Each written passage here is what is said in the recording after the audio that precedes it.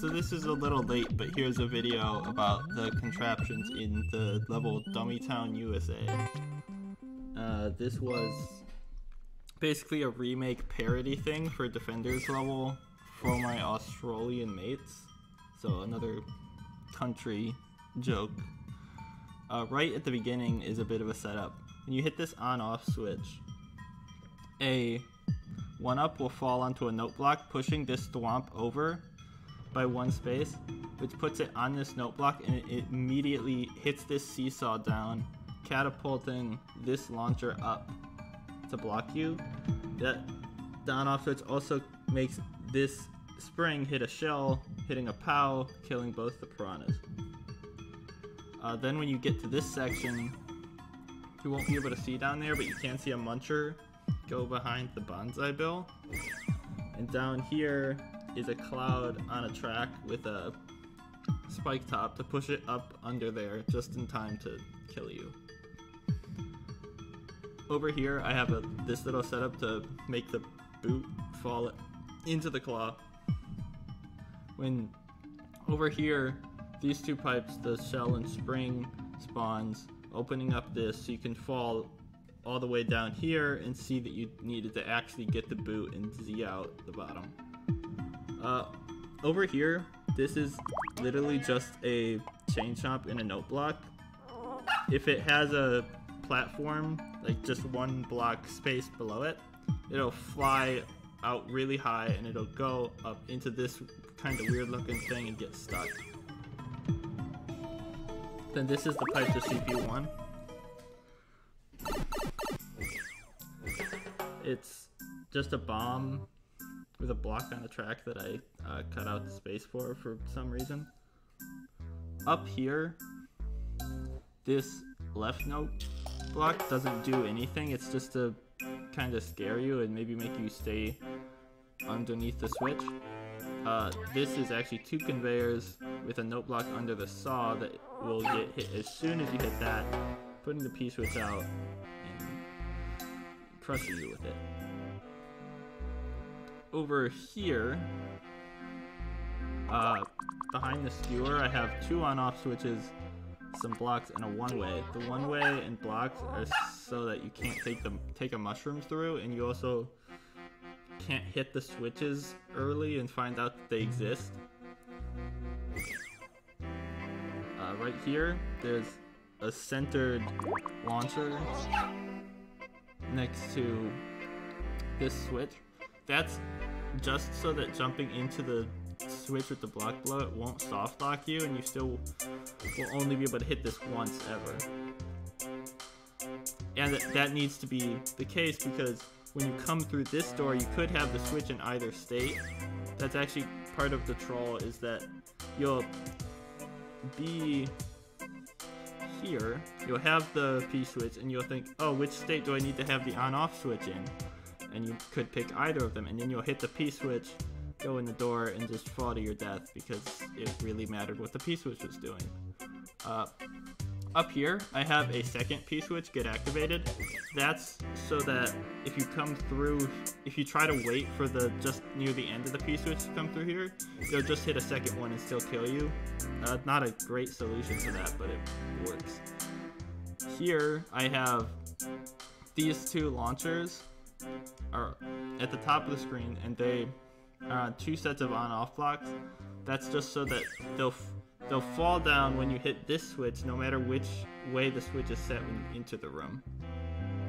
Uh, this boot is also slightly closer to the Muncher than it was in Defender's original level, because that way you can stomp in the left side hole and actually kill it, which wasn't possible in the original level. Right here, I have a on-off switch get triggered as soon as you hit the switch. As soon as you hit the P switch, that's so it's in the right state for later. This muncher is just half spawn blocked and the, the spring is sitting on it. It'll just fall the first time. Behind this is actually a spike. So if you have the boot, you'll stand on it, and if you don't, then nothing happens and you just die over here. So this is the pick a vine setup.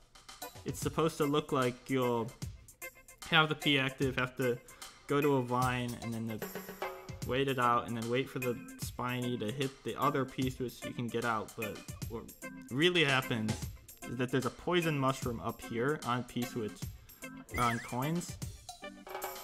Uh, it'll hit one of these note blocks depending on which vine you pick. There has to be a space in between the note blocks because the poison mushroom is actually pretty bad at following you. So if you look, if I move here, it'll go a bit further. Uh, but it's close enough that if it doesn't land directly on a note block, it'll fall in between them, then jump up onto the note block that's directly above you and still hit you. And you can actually hear the poison mushroom jump sound effect if that happens, and it might give away what's going on. Then here there's a thwomp off screen that hits a POW. That's so that I can have this muncher next to the pipe. And that muncher only exists so that this looks the same as over here where it's copied and I got the shell over this side. You'll go into the pipe. Then this section, it says CP2 right here, and this is actually based on the ending launcher ride from Defender's level. Except there's actual trolls here this time. So right down here, it's the launchers are in two clown cars that are between track blocks, pushing them over. Then I have switch blocks here, which get triggered by this on-off switch setup. It doesn't work because I'm spawning it in the wrong position. But it'll set off the switch once, this will fall and hit it immediately again. That kills the left launcher, and this clown car up here, so you have just enough time to dodge the fireball. You can actually get out of this fireball hitting you by holding left or right. It's only if you stand still that you'll get hit by it. Then the thing lining up over the checkpoint was actually an accident. I just had the tracks ending in the right spot for the launcher to stop and fall. And then that happened to be halfway between blocks, which doesn't look like it covers a checkpoint, but actually does. Then this fake picador right here only exists so that you can respawn the room and actually get the checkpoint.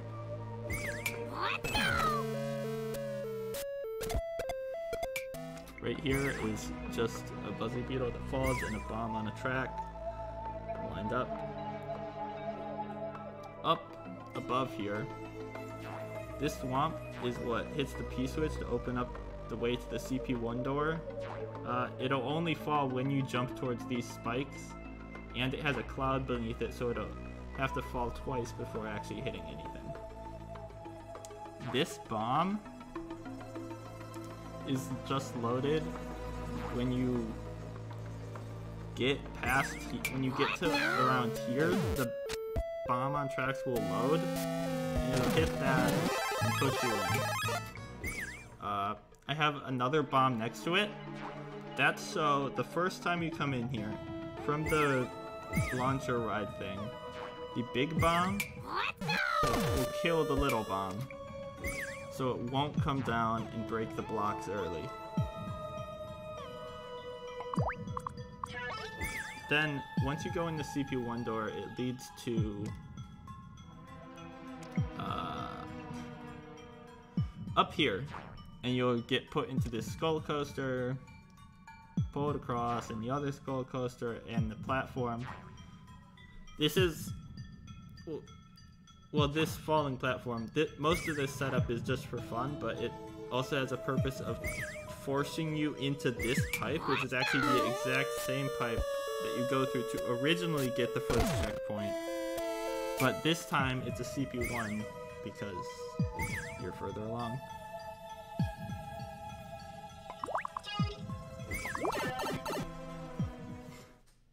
Then here, this room's pretty simple, Carl read this wrong. It says I ran out of and then dot dot dot and then down here it says floor and it looks like a pit but these platforms save you unless you're all the way at the right.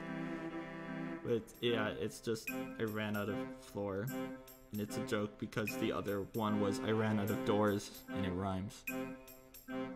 When you if you come down here with a power up, you won't be able to hit yourself and I just have a muncher over here to hit this P-switch from all the way across. This cannon, the block right there is to despawn this cannon. That's so if you hit, if you're try to be smart and hit the P-switch, switch will small and then go in the pipe. You'll get blocked by this coin and then killed by the launcher. Over here I have a bunch of these setups uh, with two pipes releasing P-switches into munchers. That's to keep the P-switch active, but also to trigger the sound effects. Effects continuously and keep the colors messed up for the mushroom troll. So what happens here is you come up, look at the mushrooms. The mushrooms spawn like this. So two blocks fall and then mushrooms come down in that spot. I'm actually going to change this slightly so you can see it. So you'll see these mushrooms come down and the red one is on the left. Then you go over here, hit the piece to respawn this area. The blocks crush the old mushrooms and then the new mushrooms that only spawn when the P-switch is active will fall down into place. And that's why this tall, uh, weird shaped section exists so while you're climbing back up these donuts, the replacement mushrooms are falling down and landing in the spot. Right here is just a really simple skull platform under this mushroom and launchers. And then I have the goal is right behind that saw. The pipe is fake. And I have a whole bunch of sound effects right there. And all of those sound effects, all those sound effects are there to mask the fact that you actually got the end. This troll is, it looks like a original section, but this troll is actually a reference to Defenders level as well. It's, well, in the end of Defenders level, he had a single sound effect that would kind of somewhat hide the fact that you collected the flagpole. So here I was like, well, since that doesn't work anymore, since an update broke that part of the level, uh, this troll is to hide the gold collection properly again. So there's a ton of sounds, and you can barely hear that you actually collected anything, and it looks like you're just falling into the pit. That's basically this entire level.